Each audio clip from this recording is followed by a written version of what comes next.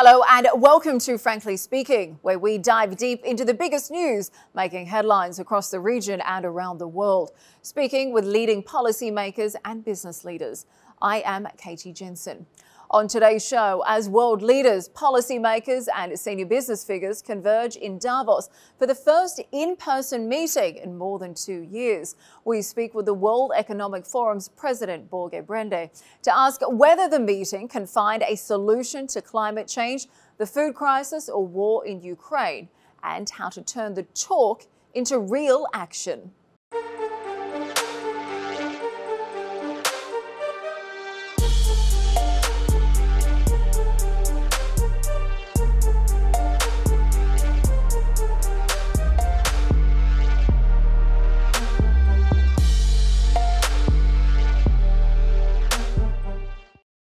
Thank you so much for joining us today on Frankly Speaking. Now, the World Economic Forum is taking place in person for the first time in more than two years. Now, this year's meeting is focusing on working together restoring trust. But with a worldwide pandemic, a disastrous war in Ukraine, and ongoing economic and environmental crises, frankly speaking, is there still any point of the meeting taking place in Davos? Well, thank you. And uh, I think uh, the meeting uh, could not have been more timely.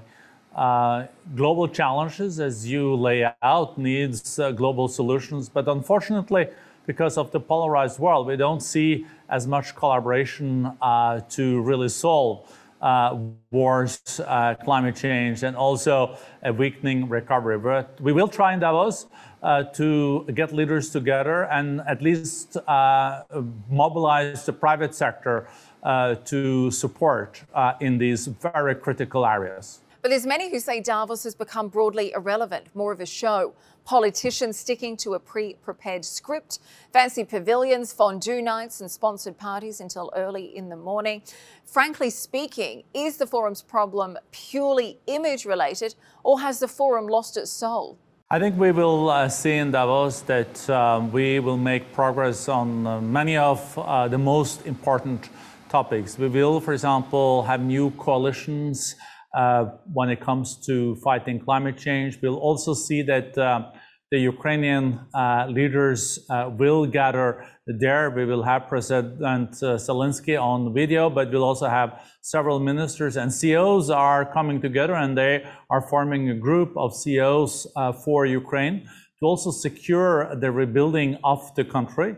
We'll also focus a lot on uh, trade and investments. We know that there will be no real economic recovery without a trade recovery. So that's why it's so important that uh, we also have trade ministers, 30 of them, together with uh, Dr. Ngozi, the head of WTO, saying that no new tariffs, uh, no more pro, uh, protectionism, and no more bans on exporting food. So many of the challenges that we are faced with cannot be solved without business. And uh, with the 1,400 CEOs and chairs in Davos, I'm pretty sure we're going to make a progress. And 25% of the participants are women.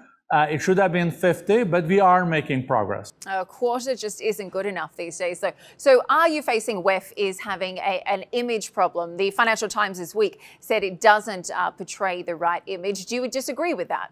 I think we uh, definitely are able to bring uh, together leaders from all walks of life. It's uh, easy to be critical, but I think uh, also the past has shown that the World Economic Forum has positive impact. Uh, it is in Davos, for example, where the Global Alliance for Vaccines were launched, uh, Gavi and the Global Fund. It was where, where also Nelson Mandela uh, came uh, to Europe for the first time and launched uh, the economic plan uh, for South Africa. And this time, it is really about how to make sure that the weak recovery don't end in a new recession.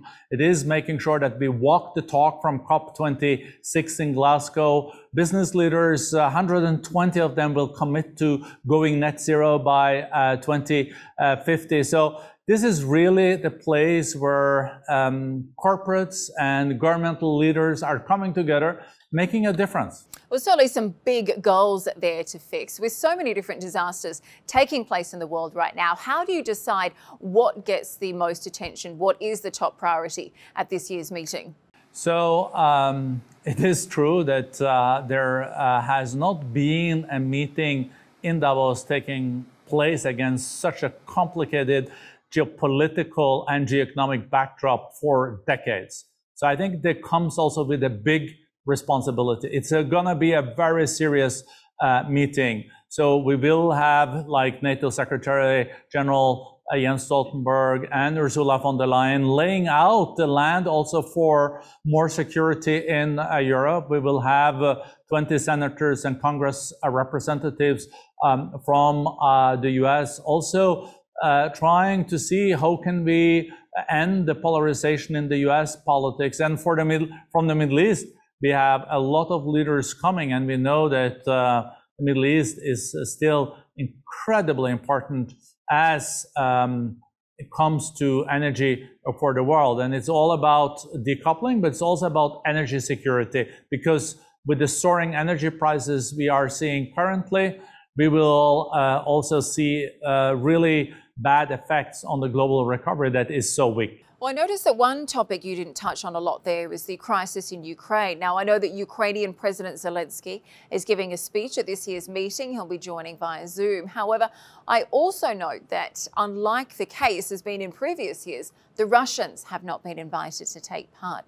Now, I've interviewed the forum's founder, Klaus Schwab, several times, and he's always been very proud about its impartiality and his reputation as a bridge builder. But how can you build any bridges or encourage debate if you're not inviting both sides of a conflict?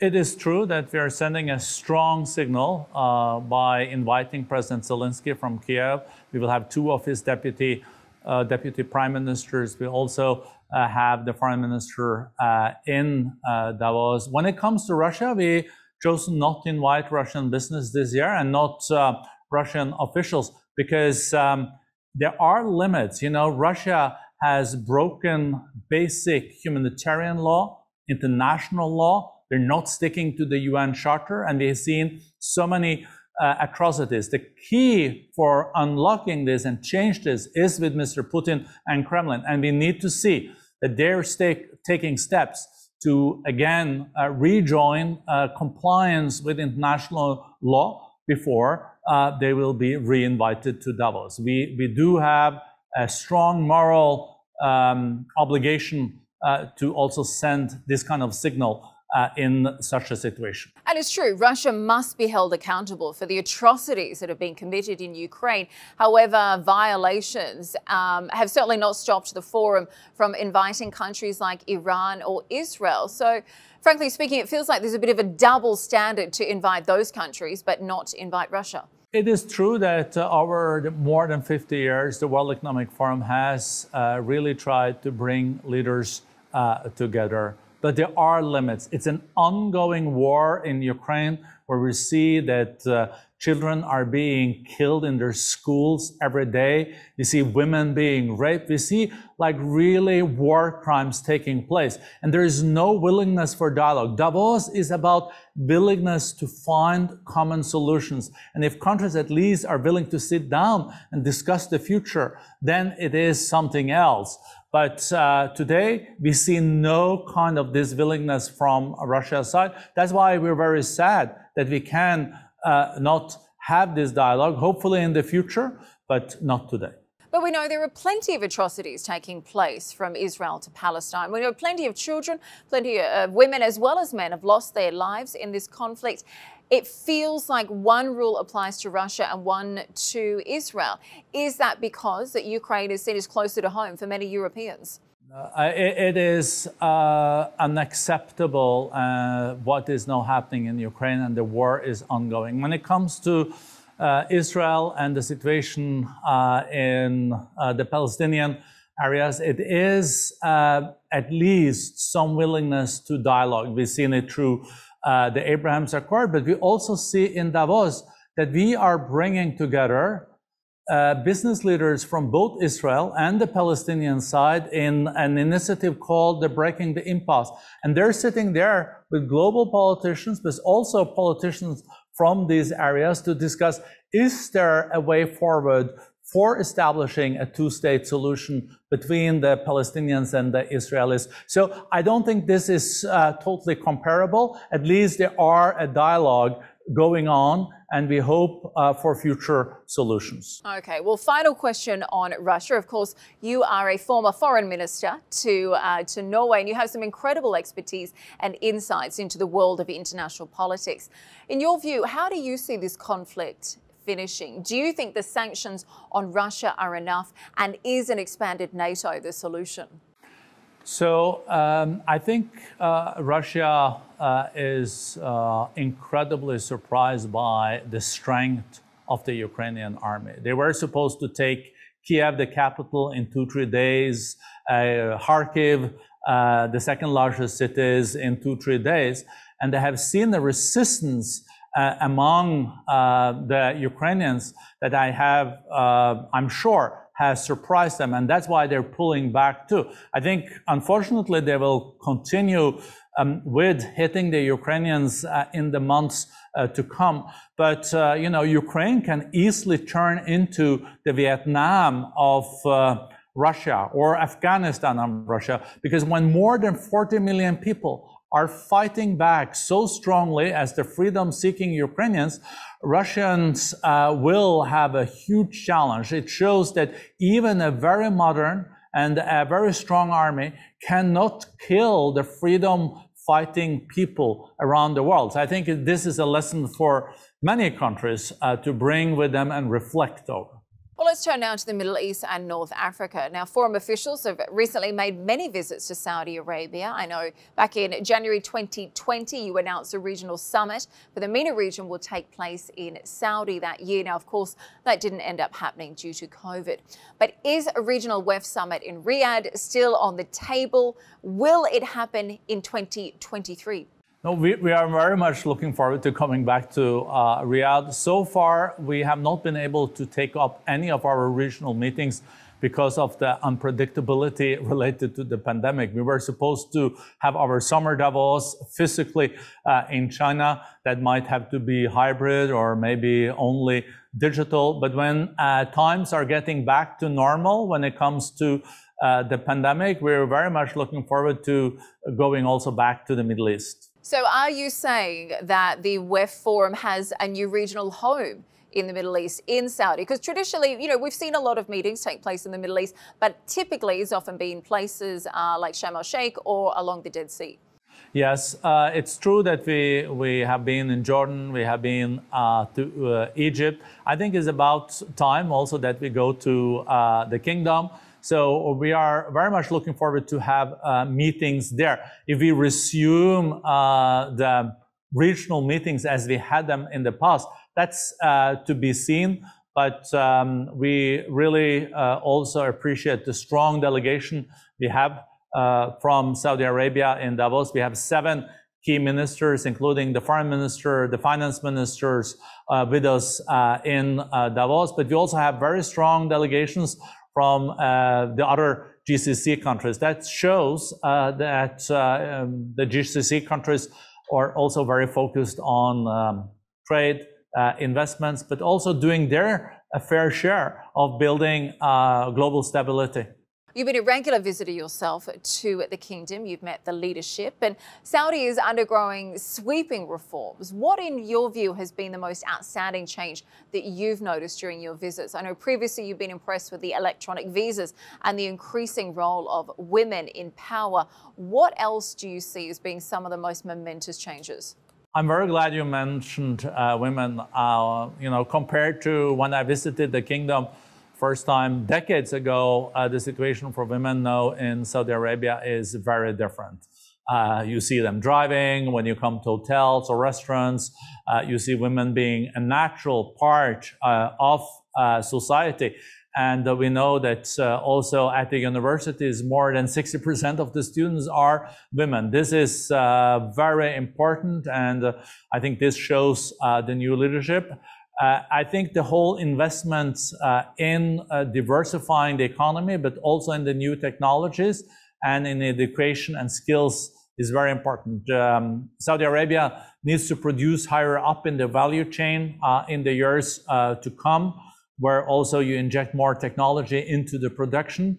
And that's why I'm also very happy that we did open our Center for the Fourth Industrial Revolution, the World Economic Forum Center in Riyadh, uh, just a year ago. And I was there and I'm seeing uh, so much progress when it comes to also uh, technologies. You previously said there is a challenge of perceptions with regard to rapid economic change in the region. You said that in the Middle East, you're faced with two kind of realities at the same time. It's one of the youngest populations in the world, and there's a lot of innovation underway, entrepreneurship and startups. But at the same time, there's a lot of conflicts and proxy wars going on in the region. So, what role do you see Saudi Arabia playing in all of that? So I do see now uh, willingness to be very serious in uh, investing uh, the additional resources and revenues coming uh, from the energy sector uh, in uh, diversifying the economy and also building a very solid sovereign wealth fund. As you mentioned, I have been in Norwegian politics for decades, and Norway built a sovereign wealth fund that is now uh, just the yield from the sovereign wealth fund is the largest uh, uh, income uh, in the Norwegian uh, state budget. And our is being invested uh, in education, but also better conditions for Norwegian industries. And I think this is what Saudi Arabia is now replicating. And this will uh, also give a very solid fundament for the years to come, when, of course, uh, oil and gas revenues also will peak. Of course, that will take a, a long time, but those money should be invested in diversification, education, skills, infrastructure and also in the green transition that we will see happening in Saudi Arabia. For example, the huge investments now uh, in renewables and solar is unparalleled um, in the kingdom. Um, what kind of future projects do you see the World Economic Forum being involved with the kingdom as well? We mentioned obviously launching the fourth industrial revolution project as well, but what other future opportunities do you see? So we um, also have uh, initiatives related to accelerating uh, gender equality. I think that should be uh, one of the next steps. We also have a skills accelerator where we have a playbook on how to also reskill, upskill uh, people that are currently not uh, in the educational system. We also have work on uh, enhancing uh, competitiveness for a country. And I think uh, there are areas still where Saudi Arabia can improve. I'm thinking about the tax system, uh, red tape, uh, and I know that the finance minister is very serious on this, and that collaboration is something that we would like even to take further. You also hold an annual summit on global agendas taking place in the UAE. It typically happens about November each year. Is that still taking place this year? And how does it fit into the World Economic Forum's map of events? So uh, you're very well informed. I'm, I'm, so glad we have those uh, global future councils, um, 40 or 50 of them that look into the crystal ball and uh, give recommendation and advice. And they usually meet in November physically uh, in Dubai. I think this year it still will be uh, difficult because of the pandemic, but we're definitely resuming this and we're definitely back uh, in November 2023. At least that is our plan for now. Now, Davos opens this week. You say it's more vital than ever to be holding this meeting. And in some ways, I think it's easy to forget that the pandemic is still raging on. A third of the world remains unvaccinated. Do you think some of the big issues that are happening today overshadows the fact that we have a pandemic? And how do we prepare for the next one? I think it's very important what you just mentioned prepare for the next one, because um, we will see new uh, diseases and uh, pandemics, unfortunately, in the coming decades too. Uh, we move much closer uh, to nature. You know, uh, just the 10 last years, we lost wilderness in the world of the size of the country of Mexico. So animals and uh, human beings are much closer, and then we will also see more diseases uh, like this. And we should not forget that we're not out of the woods yet. Look at the second largest economy in the world, China, is partly locked down now in some of the biggest and largest uh, cities in the country. And this will also have impact uh, on the global economy because uh, China is uh, growing slower and the demand from China will, of course, go down. And we will, for the future, have to learn from this pandemic that we have to have medicine, we have to have medical equipments much closer than before. We can't wait for weeks uh, for this to arrive. We have also have to be able to step up vaccination uh, fast. And uh, we know that we have paid a huge price. 15 million people lost their life so far in this pandemic. What kind of initiatives is the World Economic Forum currently working on to either prevent or manage the next pandemic? Bill Gates has come out recently. He says it's going to take a billion dollars each year to prevent the next pandemic. He's calling for a global mobilization of forces to deal with it. What are your thoughts? Is that the kind of thing that the World Economic Forum would support? Indeed. And I, I think there will be a need for more than a, a billion US dollars. We have to um, really, really address the blind spots that we're still um, facing. I think that um, what we saw on the vaccine side was uh, big learning. Um, you know, it took less than a year uh, to develop um, effective vaccines. In the past, we have seen uh, this taking a decade, and the whole mRNA uh, technology uh, is something that we have to build on. In Davos uh, in 2017, uh, we launched this CEPI initiative. This is an organization that is built for scaling up very, very fast uh, new vaccines if you see new diseases or pandemics coming. Here we have to invest much more. And what we have learned is that COVID anywhere is COVID everywhere, but we don't act accordingly. When one third of the global population is not vaccinated yet, um, if they uh, will then see new waves of COVID, also uh, new variants can be brewing in these countries, and then it can hit back. So we really need to um, think globally and act uh, regionally and locally, but we will need to also support the developing countries that are really, really badly hit. And for the first time in three decades this year, we will see extreme poverty growing again. It has been reduced every year. We've gone from 40% of people living in extreme poverty three decades ago to 10% now. And now it's on the rise due to the aftermaths of this um, terrible pandemic. Well, so many big issues that the world is dealing with right now. We've spoken uh, about the pandemic, about Ukraine as well, but there's also many countries on the brink of a recession, rising inflation we're dealing with, the food crisis as well. What do you think is the biggest global crisis we're facing today? Very short term, I think the weakening recession is of uh, great concern because uh, we invested 14 trillion US dollars. We haven't seen this stimulus since the Second World War to fight uh, the um, uh, consequences of uh, COVID when it came to the global economy. Many countries are now indebted, and if we see a slowing of the recovery before it really started, there is very little ammunition to fight a new recession. So that's why we have to get it right. Of course, we have to take inflation seriously. In many countries, we have inflation we haven't seen in 40 years. For example, now in the United Kingdom and the US. So the interest has to go up.